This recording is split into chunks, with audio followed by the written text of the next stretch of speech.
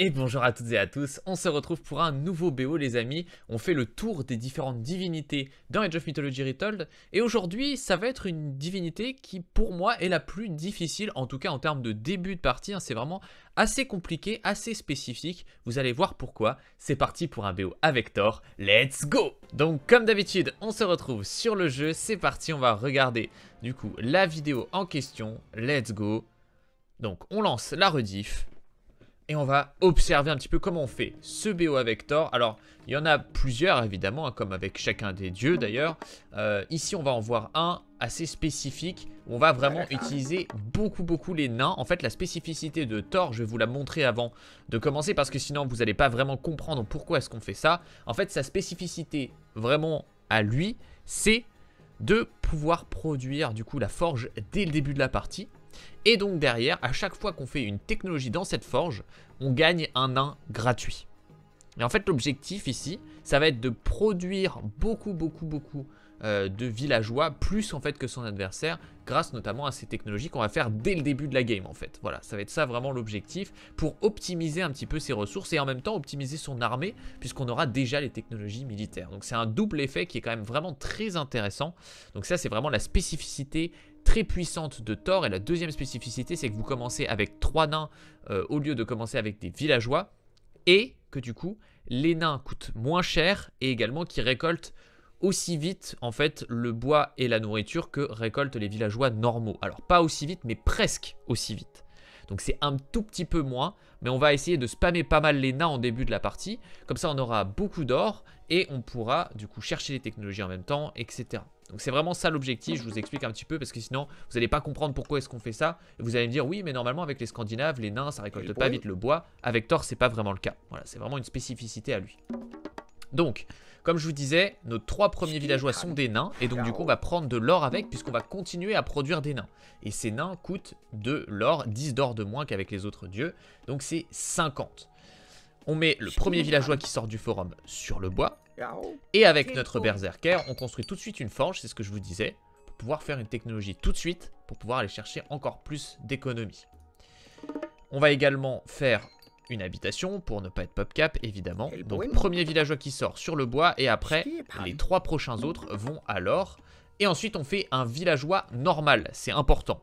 Parce que ça va vous permettre de tout de suite cliquer cette technologie. Si vous faites un nain, vous n'aurez pas l'or suffisant pour faire cette technologie directement. Comme vous avez cette technologie, comme je vous disais tout à l'heure, vous allez pouvoir sortir un nain tout de suite de la forge. Qui sortira gratuitement, vous allez le voir quand la technologie sera terminée. Donc ensuite, tous vos villageois iront à la nourriture là par la suite. Donc vous allez euh, construire une charrette à bœufs et vous allez euh, chasser. Donc évidemment, en priorité toujours la nourriture euh, chassée parce que c'est ce qui vous rapporte le plus de nourriture par minute. Une fois que vous avez terminé de, la construction avec votre berserker, vous commencez à explorer un petit peu la carte. N'allez pas trop loin avec lui parce qu'il va falloir revenir pour faire un temple chez vous. Voilà. Alors là ici j'ai fait une petite erreur. Le nain qui sort de, de, de l'arsenal, ne le mettez pas alors, mettez-le au bois plutôt. C'est plus intéressant, vous avez besoin de pas mal de bois quand même pour construire ce temple en question dont je vous parlais tout à l'heure. Et 6 villageois, ça suffit. Vous voyez, je l'ai euh, enlevé là au bout d'un moment parce que je me suis rendu compte de mon erreur. Donc c'est les 6 villageois alors, restent alors, et le premier villageois qui sort de l'arsenal va au bois directement, et tous vos villageois qui sortent du forum à partir de maintenant sont à la nourriture. Et une fois que vous avez terminé ce villageois ici, le villageois normal, vous continuez à faire que des nains pour l'instant. Dès que vous pouvez, vous faites aussi cette technologie, qui va vous permettre d'avoir encore un nain supplémentaire. Euh, donc du coup, vous avez du coup deux technologies. Vous avez la technologie de résistance, euh, de résistance, hein, d'armes tranchantes, et vous avez les dégâts supplémentaires. Donc c'est les deux technologies que vous allez avoir. Et on va pas faire l'autre technologie parce que ça vous coûte du bois. Et comme vous le voyez, on n'a pas beaucoup de villageois au bois pour l'instant. On va plutôt préférer faire un temple pour passer l'âge le plus vite possible. Il ne faut pas non plus trop tarder à passer l'âge. Sinon, bah, vous allez être en retard. Voilà, tout simplement. Donc là, vous voyez, on a quand même euh, pas mal euh, d'or, mais vous en faites pas, on va le dépenser pour euh, produire notre temple. C'est 150 d'or pour faire le temple et on continue à produire des nains avec cet or justement. Au bout d'un moment, vous allez voir, vous allez en avoir un peu trop. Alors là, il y a une école où vous allez laisser quand même les 6 villageois à l'or et vous allez cliquer des technologies dans la charrette à bœufs. Ou alors vous enlevez un des villageois de l'or et vous allez au bois à la place. Ça, ça va dépendre un petit peu aussi de ce que vous allez faire derrière dans votre plan de jeu. Si vous allez sur deux forums par exemple, ou si vous allez plutôt produire de l'armée, etc. Donc si vous allez produire de l'armée, vous allez plutôt mettre un peu plus au bois, parce que vous avez besoin de produire vos bâtiments militaires. Si vous allez faire un deuxième forum, vous avez besoin de beaucoup d'or, parce que le deuxième forum coûte de l'or. Hein. Ça vous coûte, euh, avec les Scandinaves, 350-350.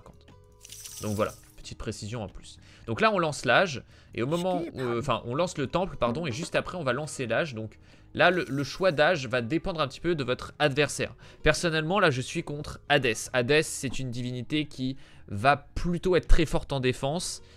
Et j'ai pas forcément envie de trop agresser, j'ai envie plutôt de rester défensif et d'aller sur deux forums.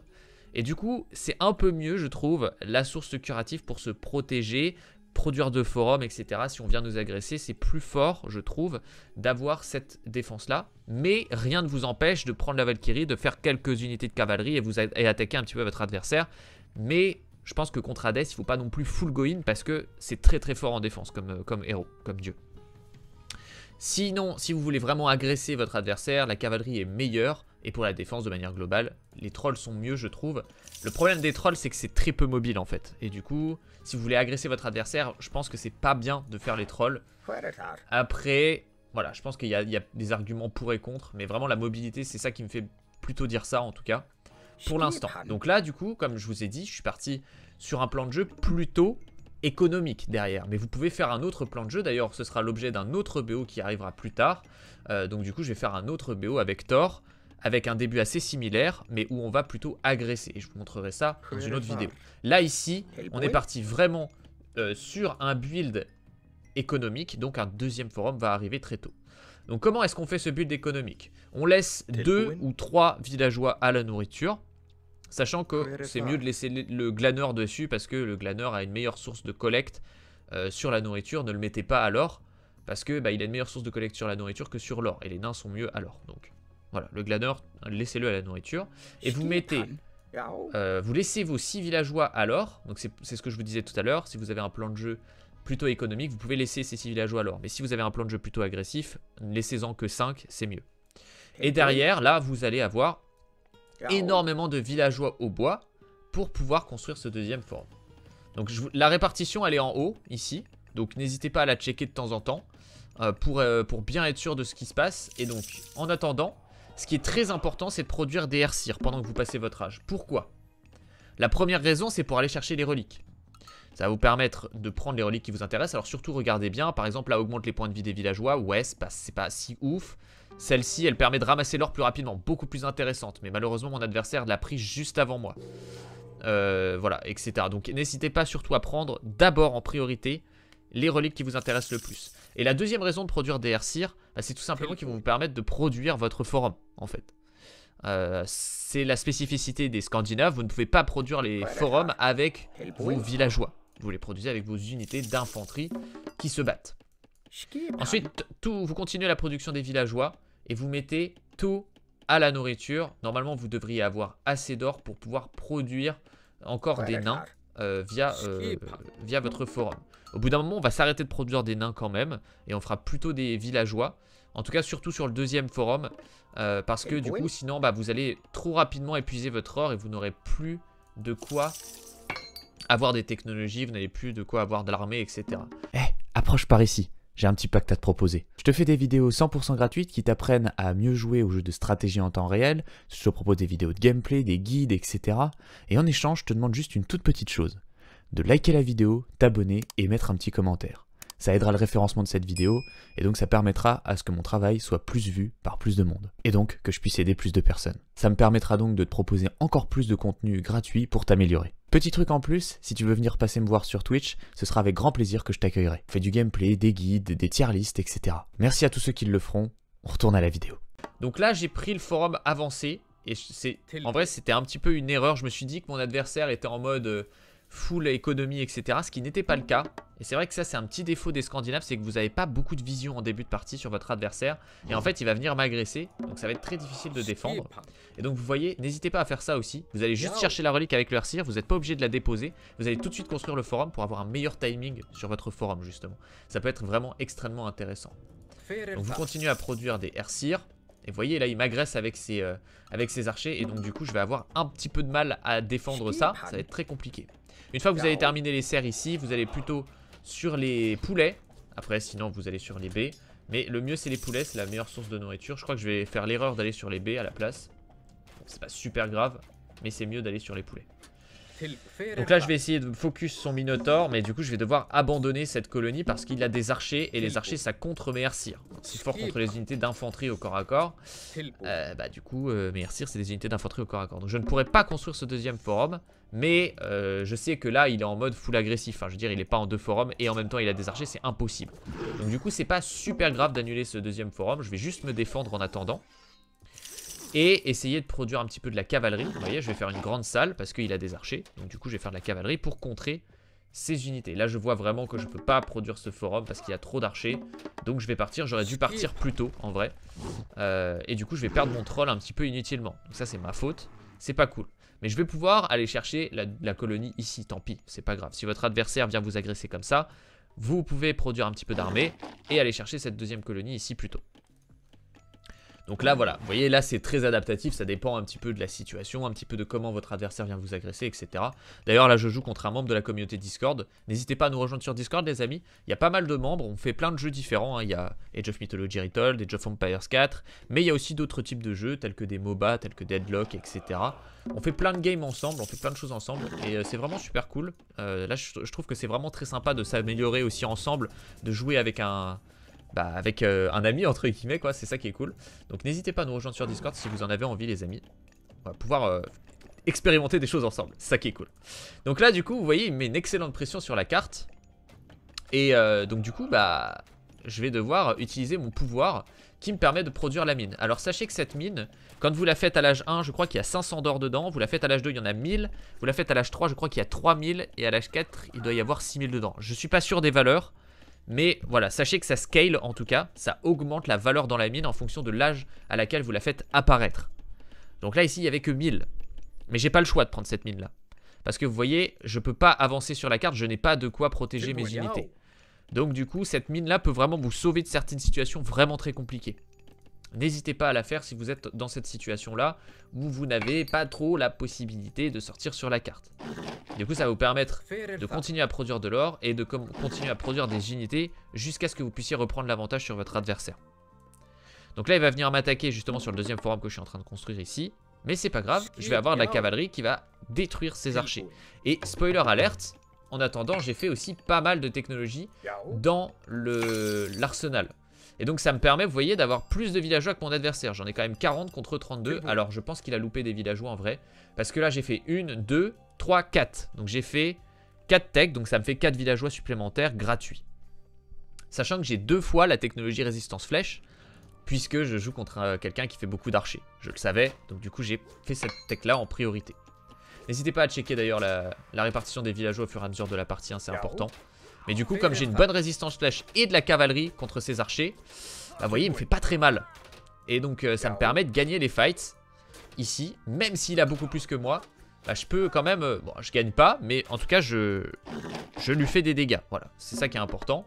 Et ça me, ça me permet d'avoir terminé ce deuxième forum. Je peux soigner mes unités avec la source curative, d'où ce que je vous disais tout à l'heure, qui est très très fort pour se défendre, etc. Donc voilà un petit peu comment ça se passe en début de partie. Là, il est venu construire un deuxième forum ici parce qu'il sait qu'il est en retard et qu'il a besoin de rattraper son retard. Donc du coup, euh, bah, il fait son deuxième forum. Malheureusement, du coup, ça veut dire aussi qu'il lâche la pression et que du coup, je peux accéder à cette mine d'or. C'est ça le problème aussi. Donc là, si vous êtes dans la situation de mon adversaire, il ne faut pas relâcher la pression en fait, c'est important. Quitte à ne pas faire ce deuxième forum en fait, en vérité. C'est mieux de garder la pression parce que moi, si j'ai pas d'or, je perds la game. Littéralement, je ne peux pas produire d'unité. Sauf que là, comme je récupère l'or, j'ai non seulement un deuxième forum plutôt que lui, j'ai plus de villageois parce que je suis tort et que je produis des villageois à chaque fois que je fais une technologie. J'ai plus de technologie aussi, du coup. Et j'ai le contrôle de l'or. Donc du coup, je suis bien mieux, en bien meilleure position que mon adversaire. Dans ce genre de situation aussi, n'hésitez pas hein, à produire des unités mythiques. Euh, ça peut vraiment vous aider à vous sortir de situations euh, très compliquées, surtout quand il y a beaucoup d'archers comme ça. Les trolls, c'est vraiment pas mal. Et ça coûte que du bois, les trolls. Euh, pareil, si vous avez fait des Valkyries, ça vous coûtera que de la nourriture, ça ne vous coûtera pas d'or. Donc si vous n'avez pas trop accès à de l'or, ça peut vous sauver aussi de certaines situations d'avoir des unités mythiques comme ça. Donc là, je spam vraiment beaucoup, beaucoup les unités de cavalerie parce que c'est ce que, bah, c'est ce qui compte mon adversaire. Et en même temps, je sais que mon adversaire va faire des piquets pour contrer cette cavalerie, forcément, des hoplites. Et donc du coup, je vais faire des unités anti-infanterie également. Pour pouvoir avoir ce double effet. Souvent, c'est ce qu'on veut faire dans Age of Mythology Retold, dans les jeux de stratégie en temps réel. D'avoir un combo d'unités qui synergise. Vous voyez, si je fais de la cavalerie avec des piquets, bon, c'est un peu bizarre. Par contre, si je fais de la cavalerie avec des lanceurs de hache, bah, du coup, les piquets qui sont censés contrer la cavalerie, bah, du coup, vont se faire tuer par les lanceurs de hache. Et euh, les lanceurs de hache sont censés se faire contrer par euh, la cavalerie notamment. Bah, du coup la cavalerie va pouvoir les protéger aussi etc. donc ça peut être assez intéressant. Pareil les, les taxiarques peuvent être forts contre les lanceurs de hache et bah du coup j'ai la cavalerie qui compte. Donc là on met la pression au maximum à son, à son adversaire évidemment. Dès qu'on peut reprendre l'avantage on le reprend. Attention à ne pas aller trop loin. Ici en vrai je suis allé un peu loin en vérité. Mais je savais que je pouvais tuer tous ces archers. Et vous voyez je prends pas trop de dégâts des tours. Parce que euh, bah, j'ai les résistances qu'il faut. Donc à ce moment-là, je perds presque pas d'unité. Et moi, j'ai une source qui soigne. Donc du coup, je peux euh, me permettre de prendre des dégâts en fait. Parce qu'en vérité, derrière, je vais soigner mes unités. Donc là, je vais soigner mes unités justement. Je continue à produire des unités. Et puis là, bah, la, game, la game est terminée en vrai à ce stade-là. Il peut pas revenir de cette game si je joue correctement. Euh, c'est-à-dire si je continue à lui mettre la pression, que je l'empêche d'aller chercher des ressources, etc. Ce que je vais faire hein, par la suite. Vous voyez, je lui tue quelques villageois déjà. Là, je suis à 64 contre 53. C'est très dur de revenir d'une game comme ça hein, pour, mon adversaire. Donc voilà, je soigne mes unités encore une fois. Euh, et, puis voilà un petit peu ce qui peut se passer par la suite de la partie. Ce que je vous conseille, c'est de passer l'âge 3. Ici, j'ai passé l'âge 3 avec euh, Bragi, je crois. Ouais, qui me permet d'avoir des, des armes enflammées. Ça, c'est excellent quand vous avez une énorme armée. Là, vous voyez, j'ai beaucoup, beaucoup d'unités. Comme j'ai beaucoup d'unités, bah, les armes enflammées vont s'appliquer à toutes mes unités. Donc c'est extrêmement puissant pour push très très fort votre adversaire d'un coup. En plus de ça, cette unité est vraiment très cool. Ça va permettre de défoncer un pack d'armées. Euh, et cette technologie est extrêmement intéressante par la suite pour avoir beaucoup de faveurs. En fait, vos berserkers vont euh, donner beaucoup de faveurs, en gros, c'est ça l'idée. Si vous avez plutôt des unités très fortes chez votre adversaire, notamment si vous faites des fast H3, vous allez plutôt chercher les géants de glace, parce que les géants de glace, ça va vraiment euh, one-shot un peu des unités à, votre adversaire. Et le pouvoir givre est extrêmement intéressant pour bloquer l'armée de votre adversaire à un point et de faire très très mal euh, si vous avez un petit peu des raids de cavalerie ou des choses comme ça. Donc ça c'est plus quand vous avez moins d'armée ou quand vous faites des fast 3 je pense. Et ça c'est mieux quand vous avez une grosse armée et que vous voulez push d'un coup. Je pense que c'est bien mieux dans ce sens là.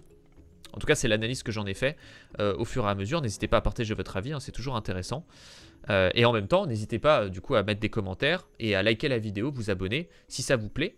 Euh, ça aide le référencement et puis ça aide à, d'autres personnes de découvrir mes vidéos et voilà pour partager encore plus les, bah, des astuces sur les jeux de stratégie en temps réel. Et ensuite pour l'âge 4, je vous avoue que j'ai pas trop réfléchi. En vérité, moi j'aime pas trop le pouvoir Ragnarok parce que ça transforme littéralement toutes vos unités économiques. Donc à ce, moment-là, ça veut dire que bah, si vous réussissez pas votre push, bah, vous avez perdu. voilà, euh, vous n'avez plus d'unités, euh, bah, vous ne pouvez plus produire d'unités quoi. Alors après c'est très fort, vous avez beaucoup beaucoup d'unités très très très puissantes, mais vous n'avez plus d'économie, donc vous ne pouvez plus reproduire d'armées derrière. C'est vraiment du, du full all-in quoi. Donc moi je préfère l'autre personnellement, mais après c'est un avis. Voilà un petit peu pour cette vidéo les amis. N'hésitez pas à me dire ce que vous en avez pensé dans les commentaires. N'hésitez pas également à poser vos questions si vous en avez. Je serai ravi d'y répondre. Et cliquez ici pour voir un autre BO, cette fois avec Loki les amis.